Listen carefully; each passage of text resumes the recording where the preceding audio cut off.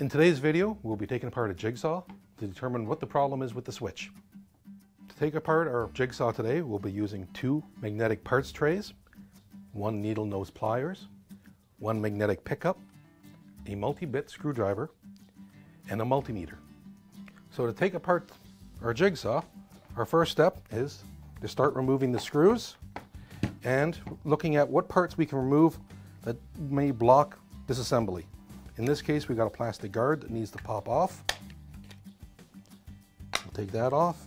And we have a shoe, which won't stop the thing from opening, but it does pose a bit of an issue. So we will remove that as well. And set it down exactly the way we removed it from the jigsaw. And if you may have noticed from other videos, I tend to start at the cord, work my way counterclockwise, and start backing off each screw.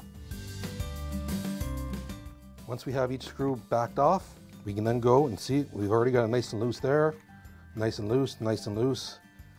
Everything's opening up. That means there's no hidden screws behind labels or under rubber or there's no adhesive, there's no quick grips holding this together. It's simply screws, which is usually the case. So at this point, we're going to remove the screws, and this is where our parts trays come in handy. When we remove them and we put them in our tray, all we do is double check to make sure each screw is identical. If they're identical, it doesn't matter which order we really put them in. We've loosened that screw, but it's too deep and we can't really get it out. This is where we either use a needle nose pliers and we go in and we can grab the screw and pull it out, or our handy little magnetic pickup just drops in, locks onto the screw, and pulls it out. We drop it in our tray. We continue on till we have all the screws fully out and in our tray that are on the outside. Then we'll start on the inside screws and do the same process.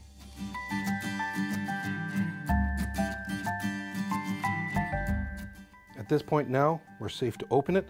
So we're just going to slowly let it open itself partially and just gently, and while we're opening it, we're listening to see if we hear any parts fall or anything go wrong. We're looking at the switch to see whether the switch is broken, or whether it needs to be replaced. To do that, we follow the main cord and you can notice there's the white heavy gauge and the black heavy gauge going to the switch. We'll pull the switch up gently. Try not to bend the wires too much because if we keep the wires in their natural bend and I let go, it automatically goes back to where it wants to be and I don't have to try to fight to figure out where all the wires belong. If I lift that up, I can see there's my white big one from down below and there's my black coming up. So there's my power coming across to the other side. So to figure out whether the switch works, what we have to do is see whether when we press the switch, whether we have power being transferred over to the wires that lead over to the motor. In order to test to make sure this switch works, what we're going to use today is a multimeter. You can use all sorts of different methods, which we'll talk about in other videos, but today we're going to use a multimeter to determine whether that power can go through. And one of the reasons I like using a multimeter is because this particular one has sound and it lets me know whether we have contact. So always with any tool that you're using, always test it. In this case, if I have power going through, if I have contact, we're gonna get a beep. So I don't actually have to watch the meter, I can actually just listen. I'm gonna put it on the power coming in that we've already traced, coming in from the cord to here.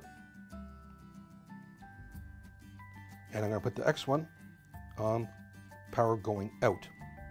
In this case, we're not getting any power coming out, and the reason being is, of course, we haven't pressed the switch. So in this case, if we put it on the power coming in and on the power going out, we press that switch. If the switch is working, the meter should start buzzing. So we know this switch is working, it doesn't need to be replaced. If we tested it and we didn't get that signal going across, we simply go online to our parts store, identify the part Quite often the part number is right onto it. And if not, you can pull up the jigsaw, look at the part number, pull up the diagram, identify which switch you need, and replace it. It's a lot cheaper than buying a new jigsaw. Do any of your tools need a repair? Visit us at ereplacementparts.com and easily find the parts you need and have them shipped right to your door.